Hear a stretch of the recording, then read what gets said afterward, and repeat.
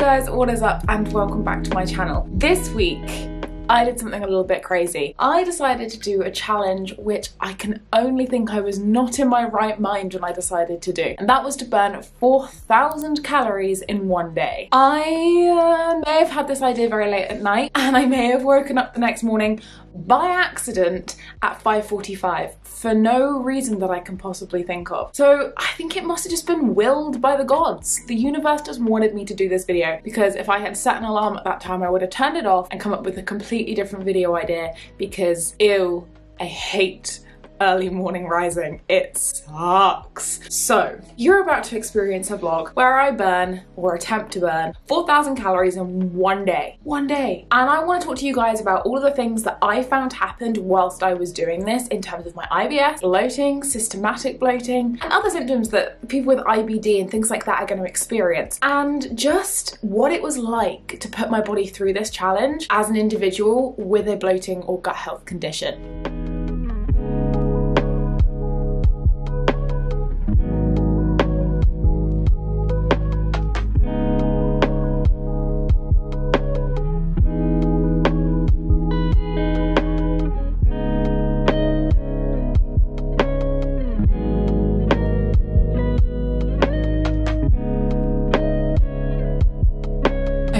So it is 8.20 in the morning and I am very aware that I have only burnt 569 calories. I need to go prepare for a hike though.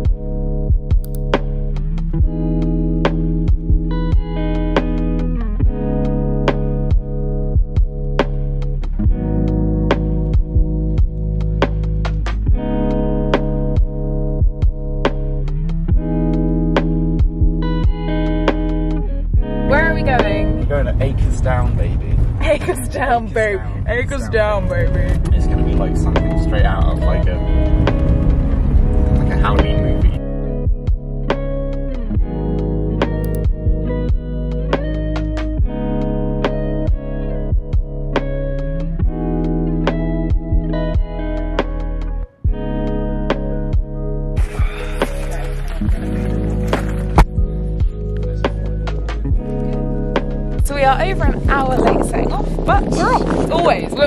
We're late. No, no, well. I don't think we've ever been on yeah, time for a hike. I got out my uh, orange beanie so I can look like a pumpkin. Nice. Halloween is gone, but Pumpkin Tommy whoa, is here. Whoa, whoa. Don't tell me Halloween's gone.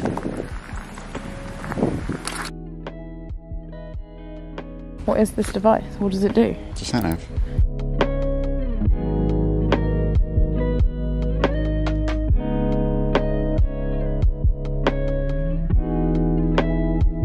first thing that I noticed made, made a massive difference is that I wasn't stressed and I had a really clear head.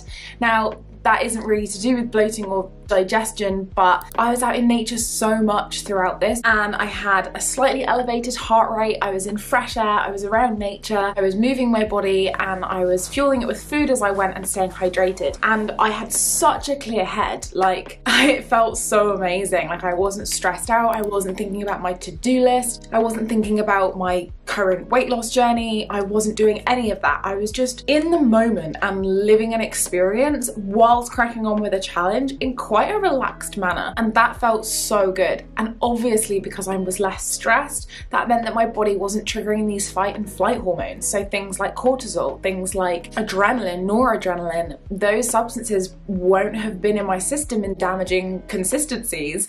And I literally cannot tell you how amazing it felt just to exist without any of those problems, without any of that head fog. And I think that that's one of the things that really improved whilst I was doing this challenge was that I wasn't releasing stress hormones in copious amounts. It was a really nice experience. There's a donkey down here. Hello. Oh, don't hurt me. You okay? Damn, you giving me some attitude.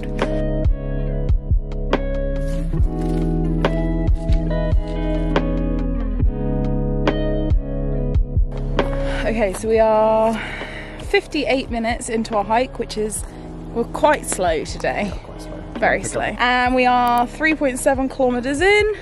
and about 330 calories into the hike. Feeling good. It's very beautiful, isn't it? It is very beautiful. It's Proper. gorge.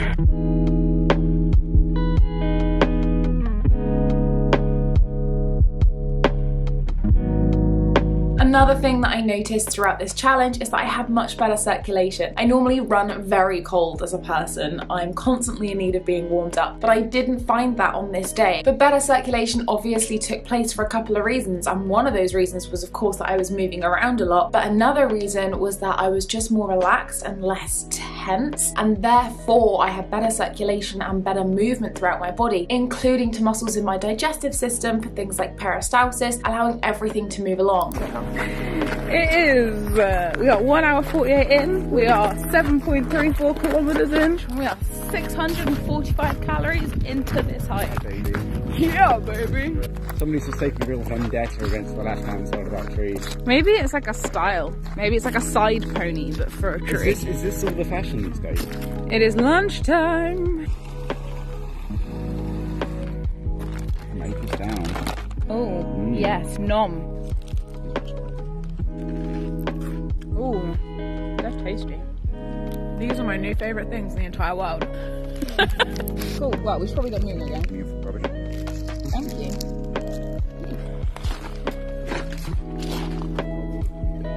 Just go for it.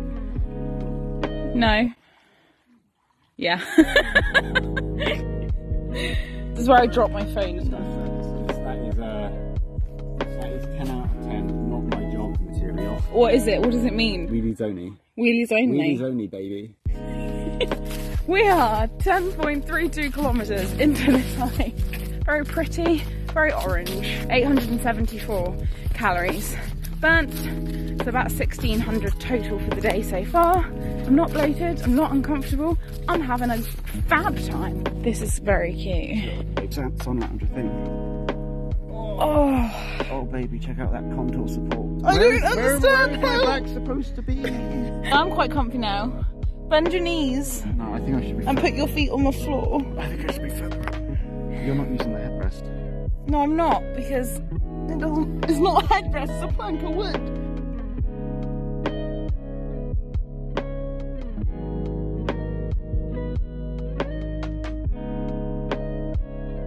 That was a brilliant hike. We did. I think we did around 16 kilometers. Um, so that's 1,216 calories. My feet hurt quite a bit. I've done 2,198 calories, and it is 229. And mm. because we forgot our first aid kit, we're very happy that there were no hiccups. We both forgot our first aid kits. I would have had to make a tourniquet out of like a out of like a like a bunch of leaves and a part of a horse. I don't know. horse would have been okay. So, in the eventuality that I am bleeding out, you're going to kill a horse, collect some leaves, and then dismember the horse. no, no, no. I'm gonna ask the horse nice. And you're going to ask the horse nicely to give up some part of Let's its give it a body. set, give it some tail. Tie, tie up a tourniquet. Okay, and with that, signing this off. One of the things I did find in the car on the way home from the hike, I did find that I bloated and had a few stomach cramps, which was probably something to do with the fact that I hadn't sat down in ages, and then my stomach was more compact when I finally did. Okay, so we are back from the hike, and I have to say, I am so just want to curl up in a ball. The bloating pain subsided definitely, it subsided quite quickly, and I do think that that was just my body kind of recovering a little bit from the hike. Um, so it didn't last for very long, which is good. It is currently 3.32 in the afternoon and I've burnt 2,321 calories. So I need to do my thumbnail, put the video up, and then I need to go to the gym because I'm not even close. I am literally past halfway in the day for sure and I'm not close enough to my target here. Okay, so I have just got that video up and live and it is 4.44 and I'm at 2,400 calories. So we're still quite a ways off. I was number one, gonna go to the gym early uh, than Ben. I was gonna go an hour before him, but he now needs a lift there. And number two, that took longer than I thought. So I was gonna try and fit in a workout in at home and that's not gonna work either. So what I'm gonna do is I'm gonna stretch it out for like five, 10 minutes and get ready for the gym, then do cardio, then do weights, then go for my swim and pray for the love of God that I hit 4,000 calories.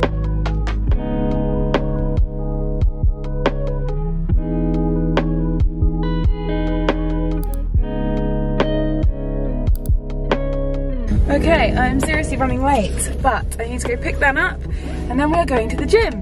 That stretch session was pretty good, not gonna lie. I'm on 24,000 steps, I'm on 2,525 calories, and it is 10 past five, which is the time I was supposed to get to his house, which is 10 minutes away. The third thing that I found, and my I loved it the most thing, and that was increased gut motility. I could feel no matter what snacks I threw at my body, no matter what I ate, my digestive system was like, yeah, right, I'm on it. I've got it, I know what I'm doing, see you on the other side. I had no bloating, I had no stomach cramps, and I was a happy bunny just going along, and that felt so good. It felt so amazing. I will just say quickly that there are a lot of people in the gym upstairs, and I am not feeling happy or confident about filming in front of them. But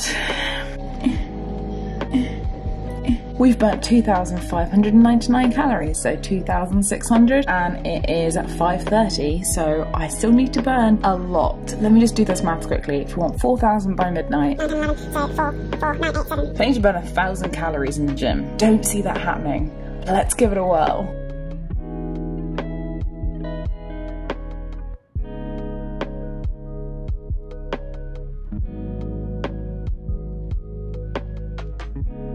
Okay, we are out of the gym. I'll tell you one thing that I find really weird that I haven't experienced today. I haven't experienced much hunger. Felt it once during the hike. It was very mild. I ate some food, it went away. I haven't been bloated other than the drive home, but I'm burning so many calories, so I just don't, I feel like I should have my stomach grumbling all the time. Yes, I am snacking regularly, and I suppose I'm snacking regularly without the consequences of eating constantly. Often I want to have three or four meals throughout the day at the same time every day to help with digestion and make sure I'm not bloating. Whereas I'm not really finding I have that problem today. I can eat what I want when I want, I won't bloat, and my body just kind of cracks on with it. Okay, gym session over. It's 7.40. How was that? Yeah, it was pretty good one. It started off pretty rough. Yeah. We are over 3,000 calories at this point, which is good. I'm so hungry. Mm, yeah. Okay, dinner time.